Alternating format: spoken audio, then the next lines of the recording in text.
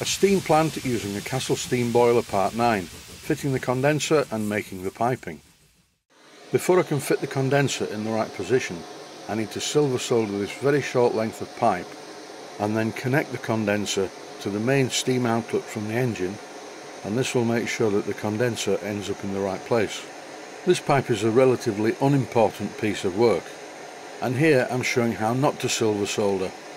I held the piece of silver solder far too close to the blowtorch flame and the end melted after which I applied far too much silver solder to the joint. Once the part had cooled to black and I quenched it in water, I started to clean it with a piece of Scotch-Brite. And at the moment it's not looking too good, so then I tried it on the polishing spindle. This improved it slightly, but really it needs to go in the acid bath. But before doing that I'm going to use it to get the position of the condenser.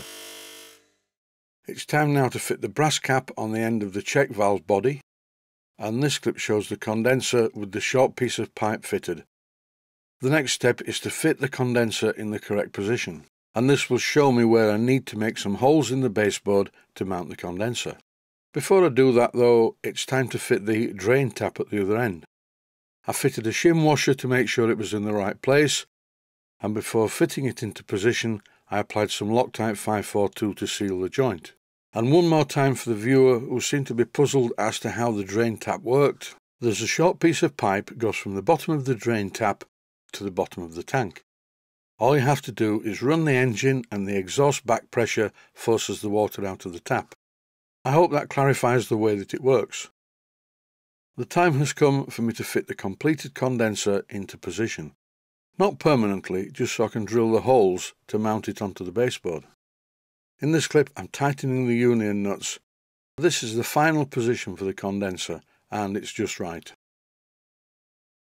Once the condenser was in the correct position I used a scriber through the holes in the condenser's mounting bars to make four holes in the baseboard.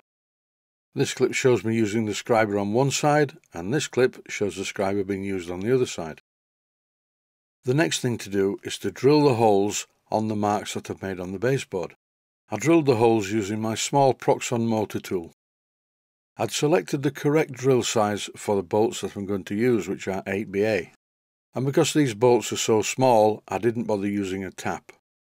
Here's my box of 8BA bolts. I was having a look to see if I had any shorter ones because the ones I was using were far too long, and the will of course need shortening.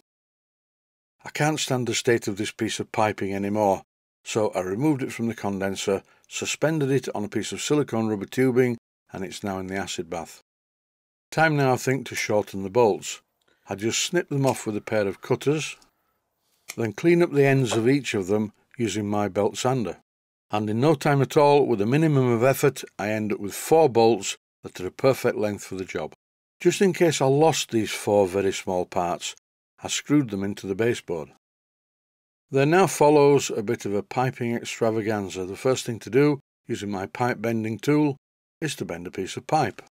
This pipe goes from the outlet of the pump all the way underneath the boiler to the other end, which is a check valve, to feed water from the pump into the boiler. Without removing the boiler, this was quite a tricky job. The last bend, where the check valve is as shown in the image on screen at the moment, had to be made with the pipe in position, but it worked out okay in the end. I just had to be very careful not to scratch the baseboard. When piping a model steam installation, it's really important not to scratch the components such as the baseboard or the engine or any of the paintwork. Once I've cut the pieces of pipe, I always clean the ends using my belt sander. That way the ends are not sharp and don't scratch anything. Three pieces of pipe are going to terminate at this position and because the owner is going to have a glass case fitted that fits around the outside edge of the baseboard, everything on the baseboard, including the piping, must be inboard slightly. Here, using a felt tip pen, I've marked the position for this pipe, which is the water inlet pipe to the pump. I try and think out the pipe runs before I start, so that they end up looking quite neat. This is the water pipe from the water gauge blowdown valve and so when you blow down the water gauge it doesn't go everywhere all over the board. This pipe can also be routed with a piece of silicone rubber tubing to a suitable container to catch the water.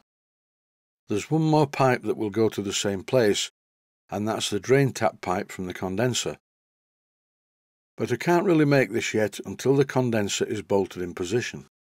I also need to make a special support bracket to support the pipes where they're very close to the edge of the baseboard. More about that in the next episode. That's it for this one. I'd just like to say stay safe, stay well, thanks for watching, and I hope you found it useful. Please take the time to visit my Mainsteam Models website and click on the section of the website that says Video Playlists. And by doing that, you can find other videos that you may like to watch. And by using the playlists, you can actually watch the videos back to back.